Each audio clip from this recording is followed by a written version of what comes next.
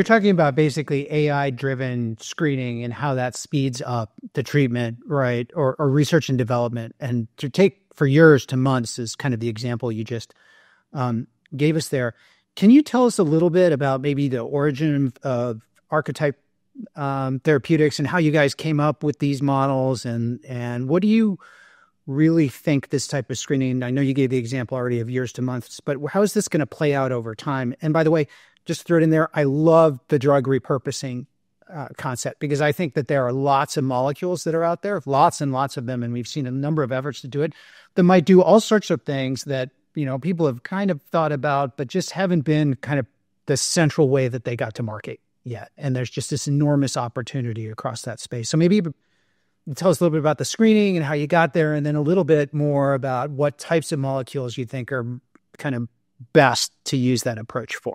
Yeah, sure. So, as you know, we talked a little bit about my background, and my co founder in this company, Paul McDonough, has a kind of parallel background, but he's the, the hardcore scientist and the guy that developed the platform. So, he was working on the completion of the Human Genome Project 25 years ago. He was early at Rosetta Inpharmatics, where they were doing the gene expression work uh, in drug discovery a very long time ago, over two decades ago, working with pioneers like Eric Schadt and others.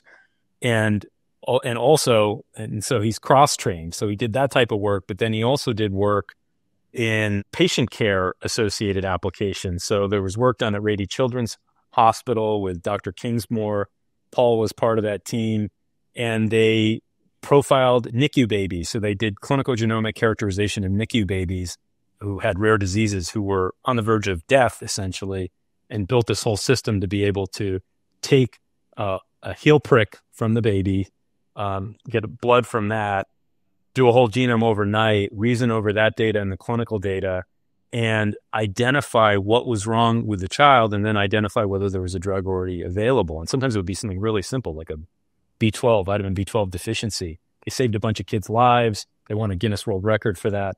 So, part of understanding how we came up with this approach that I'm going to describe is we have this kind of under the radar data scientist rock star in Paul that is cross trained for 25 years across all of these different genomic, and clinical data applications, both patient facing as well as drug development facing. And so that's where his ideation really came from. He started working on this idea about two and a half, coming up on three years ago, which was given all these new AI tools, including some of the generative AI tools, can we, instead of being focused on the old school approach of discovering a target and then trying to find a molecule that hits that target, which is still a very valid way to do drug discovery, but you might be missing a lot of the biological picture when you just focus and narrow in on just one target. His concept was, well, there are these, what we just described a couple minutes ago, these human clinical genomic classifiers. What I mean by that, for those in the audience that may not be aware with all the jargon, is this concept of something like a Cologuard. So most people know what that is. That's the poop in a box test. You essentially want to get screened for the possibility of colon cancer, you provide this stool sample. They do expression profiling. What that really means is measuring the activity of your genes.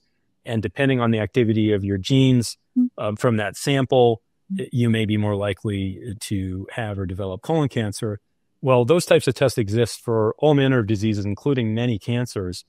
And what they do is they predict the likelihood that you're going to have the disease or the likelihood that if you have the disease already, that you're going to have a bad or relatively good outcome in terms of how long you live or whether your cancer spreads and so on. So that's what we mean by clinicogenomic classifiers.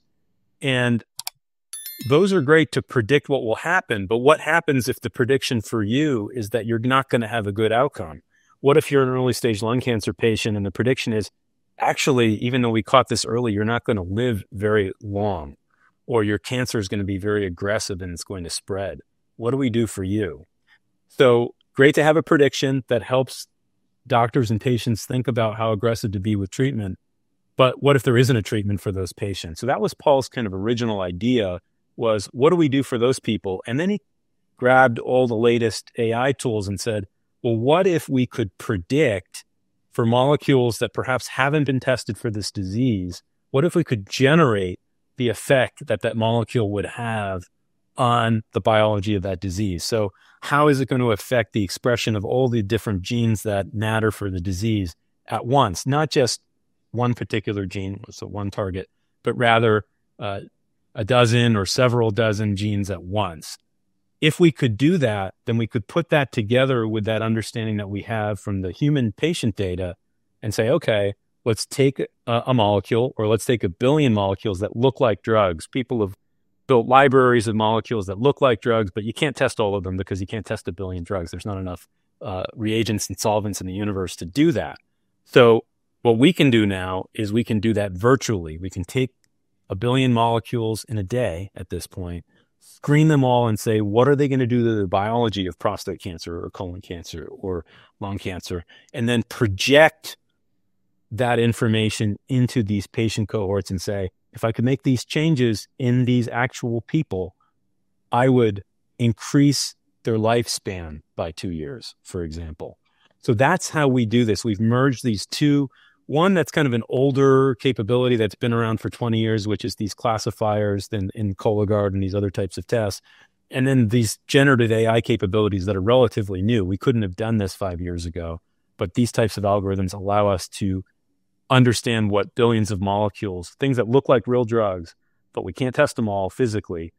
What are the ones that are most likely to make changes to cancer biology that will matter for these patients and move their outcomes in the right direction? So that's the this massive screening that we talk about. That's what we mean by that.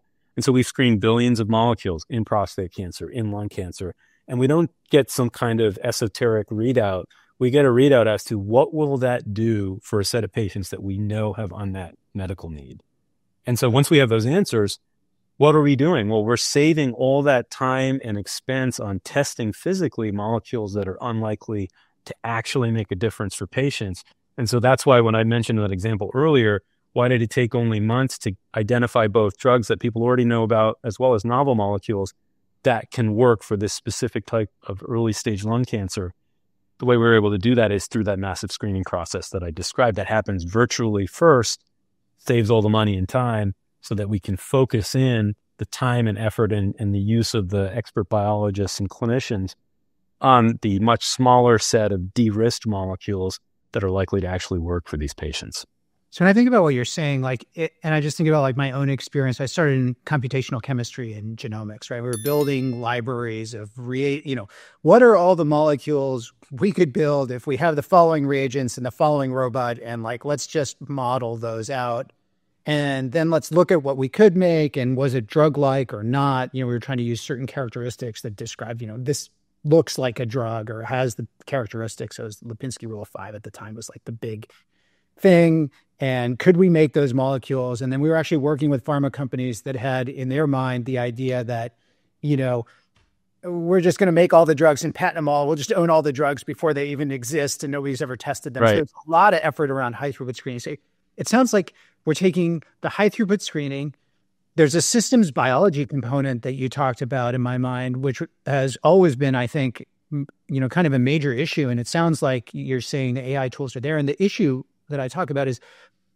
you think about what we know about biology, I always feel like it's way less than we think it should be. Like we actually understand biology much less than the actual, like the body is really complicated. These systems are incredibly complex, but it sounds like now with the tools that we have in place, we're able to either model the systems biology, right? Or maybe it's something that I, I think you, you might have said in here, which is understand from the real world data, from the actual patients, the patient centricity of what, you know, even if we don't understand exactly what happens, what do we expect to happen when certain things change? And you're kind of meshing that all together with the result of taking the risk out of like when you actually go and do something for real, then it's much more likely to be successful. Am, am I tracking this?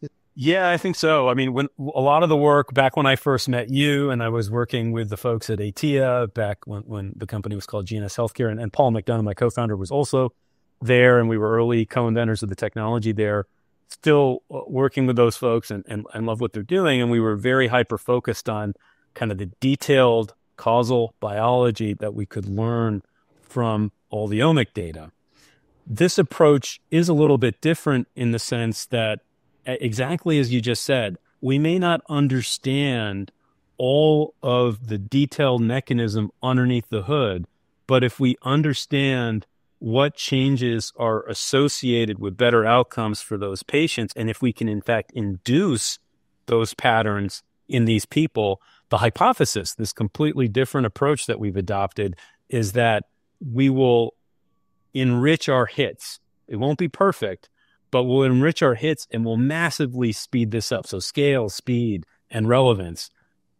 Optimizing for all those things at the same time. You're not going to be perfect at all of those, but we think that we've struck this right nix, and we've kind of proven that by going through in vitro and now in vivo models that you would put regular drugs, going through a regular drug discovery process through and finding validation at each of those steps very quickly.